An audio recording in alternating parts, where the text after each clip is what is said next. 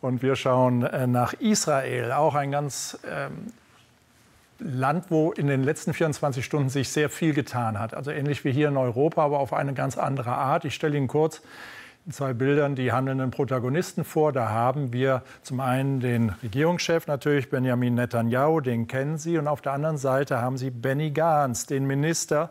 Der trat in die Notregierung ein, das Kriegskabinett, wie es sich nennt. Und heute meldete er, tritt wieder aus. Luc Walpott in Israel. Wie ist dieser Schritt einzuordnen aus Ihrer Sicht als Korrespondent? Gantz hatte vor einigen Wochen äh, Netanyahu aufgefordert, endlich Pläne vorzulegen, wie es weitergehen soll in Gaza. Gantz selber ist lange Berufssoldat gewesen, er war Generalstabschef, er war Verteidigungsminister, ein Mann, der auch international hohes Ansehen äh, genießt und auch bei den Amerikanern äh, großes Vertrauen hat. Und er hat eben das Problem gesehen, dass es nicht reicht, Krieg zu führen, sondern man muss auch eine Exit-Strategie haben. Man muss für den Tag danach planen. Insbesondere ähm, muss eine Strategie vorgelegt werden, wie soll es weitergehen nach dem Krieg, wenn es mal eine Waffenruhe gibt. Wer soll den Gazastreifen regieren? Ähm, da hat er Netanyahu aufgefordert, endlich etwas zu tun, weil Netanyahu in dieser Sache bislang nichts getan hat, ähm, absichtsvoll nichts getan hat. Netanyahu möchte nur diesen Krieg, möchte nicht darüber nachdenken, was danach ist. Das hat ganz nicht gepasst. Er hat ihn aufgefordert, ultimativ aufgefordert, etwas vorzulegen. Andernfalls werde er zurücktreten aus diesem Kriegskabinett. Das hat er jetzt gestern Abend vollzogen, diesen Schritt. Und das schwächt Netanyahu nicht über alle Maßen, denn wenn man auf die Knesset, auf das Parlament schaut, dann hat die Regierungskoalition von Netanyahu immer noch eine Mehrheit, 64 der 120 Mandate. Denn äh, Gantz war ja aus der Opposition wegen des nationalen Notstands in diese Kriegskabinettslösung äh, eingetreten und ist jetzt wieder ausgetreten. Also parlamentarisch schwächt das Netanyahu nicht, diplomatisch und intern schon, denn er ist jetzt noch mehr angewiesen, äh, Netanyahu Netanyahu auf seine beiden äh, rechtsextremen Koalitionspartner.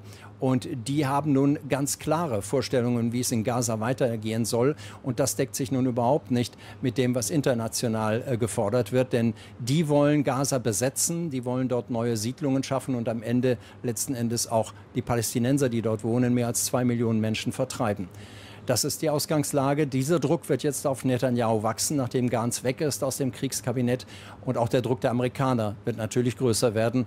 Zur Stunde oder in einigen Minuten wird äh, Außenminister Blinken, der amerikanische Außenminister, hier erwartet. Er war am Nachmittag in Kairo, hat dort geredet mit den Ägyptern. Man versucht natürlich, die Hamas zu bewegen, das äh, vorliegende Angebot anzunehmen. Aber soweit ist es noch nicht. Äh, die eine Frage, die ich noch habe, ist die USA. Sie sagten ja, äh, Benny Gantz war den USA sehr gut vernetzt, sehr wohlgesonnen. Jetzt ist er raus. Das klingt alles von dem, was Sie mir sagen, dass Benjamin Netanyahu quasi gegen den Rest der Welt langsam kämpft. Ja, das kann man durchaus so sehen. Ähm Wobei der Rest der Welt, äh, das muss man schon noch abschwächen. Zum einen beispielsweise steht Deutschland immer noch an der Seite Israels, wenn auch mit deutlicher Kritik am Vorgehen der Israelis im Gazastreifen. Aber eben die USA stehen immer noch, auch zu Netanyahu. Nur die Kritik wird deutlich äh, härter und auch äh, präziser, auch äh, der amerikanischen Partner.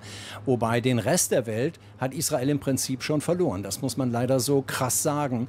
Ähm, man hat aber nicht den Eindruck als Beobachter hier im Land, dass das Netanyahu und erst recht nicht seine Koalitionspartner stört. Ähm, da ist so ein Wagenburg-Denken ein, hat er eingezogen. Ähm, man fühlt sich von der ganzen Welt im Stich gelassen, falsch verstanden. Man äh, wirft beispielsweise der UN und auch der UN-Spitze ähm, Antisemitismus vor, wenn Kritik kommt am israelischen Vorgehen im Gazastreifen. Also man igelt sich da ein, Netanyahu und seine Koalitionspartner. Und das ist natürlich keine gute Entwicklung. Aber ähm, ich denke, dass äh, von Netanyahus Seite äh, dieser Krieg erstmal fortgeführt werden wird. Und deswegen hoffen die USA, dass Hamas sich vielleicht bewegt. Aber danach sieht es im Moment auch nicht aus.